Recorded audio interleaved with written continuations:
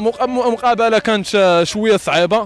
في اخر جوج دقائق تمكنا باش نفوزوا الحمد لله هذا فضل ديال الله سبحانه وتعالى وما غاديش يخيبنا الله وحنا دابا درجه بدرجه باش نجيبوا الكاس وباتمان راه مغربي وباتمان اللي كيكون حاضر الفئه خير وديما مغرب ديما مغرب ديما مغرب ما كاين المغرب